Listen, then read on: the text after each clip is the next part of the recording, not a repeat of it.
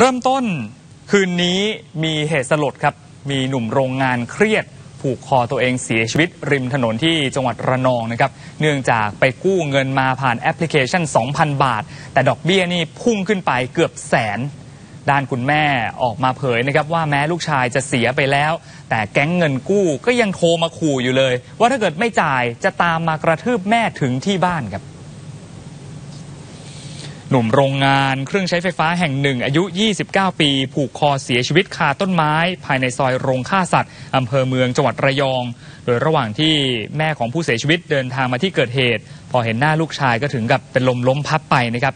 แม่ของผู้เสียชีวิตเล่าทั้งน้ำตาครับว่าสาเหตุที่ลูกคิดสั้น เกิดจากการไปกู้เงินผ่านแอปพลิเคชัน ครั้งแรกกู้ไป 2,000 บาทนะครับ แต่จู่ๆยอดหนี้พุ่งไปถึง 70,000 ทั้งทั้งๆที่เคยจ่ายคืนไปแล้วถึง 25,000 บาท